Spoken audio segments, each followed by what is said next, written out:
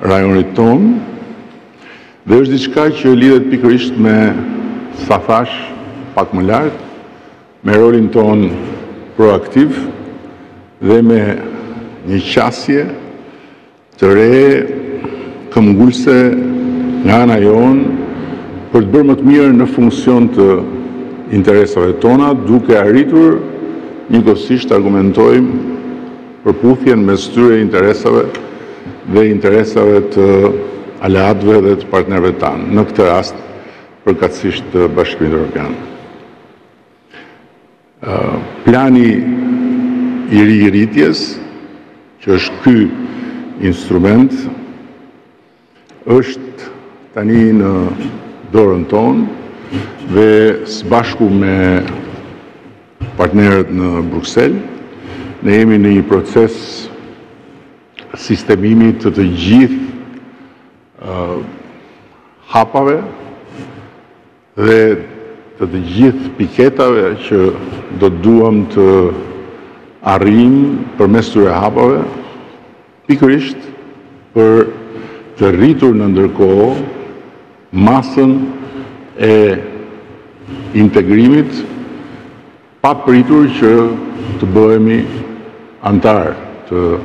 Bashkimit Europian. Kjo është dhe arsyeja pse pa na kërkuar askush, ne kemi nisur një proces të ri përmes një synimi absolutisht ambicioz për të lançuar një dallgë të re reformash, duke u organizuar në Kuvendin e Shqipërisë me Komisionin e Posaçëm për Mirëqeverisjen, Sundimin e Ligjit dhe Antikorrupsionin. I solla këto dy shembuj, ka dhe të tjerë, për të ilustruar faktin se tani më prej kohësh ne nuk jemi statik në pozicionimin dhe në qasjen. ndaj marrëdhënieve tona ndërkombëtare dhe rezultat i qëndrimit dhe i veprimit vazhdueshëm dinamik është edhe fakti deri përpara disa vitesh i paimagjinueshëm i marrjes nga Shqipëria të një sërë përgjegjësish shumë të rëndësishme në arenën ndërkombëtare, Duke nisur nga kryesimi i Procesit të Berlinit, ku arritëm disa rezultate domethënëse në funksion të planit të ri të rritjes, duke vazhduar me Samitin e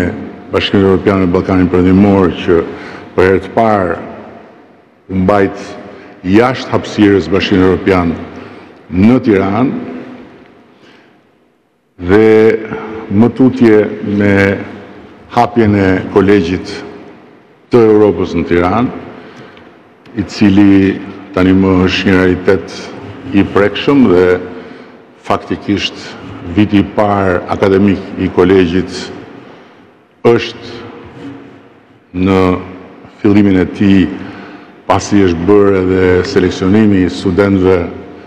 nga të gjitha vendet e Europës, ku kishte një kërkesë shumë më të lartë sesa parashikimi. Më tutje pa harruar atë që Shqipëria bëri në Këshillin e Sigurimit të Kombeve të Bashkuara dhe këtu e kam të rëndësishme të sjell një shembull për të treguar se sa i rëndësishëm është roli proaktiv i ambasadorëve, shembullin e ambasadorit tonë në Kombet e Bashkuara, i cili tanimë shërben si ambasador në Bruksel, Për të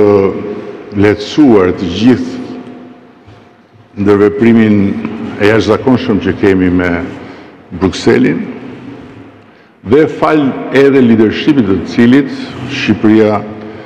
ushqeu shumë respekt, krijoi shumë besim dhe pa diskutim mori një prestigj që nuk e kishte pasur më parë.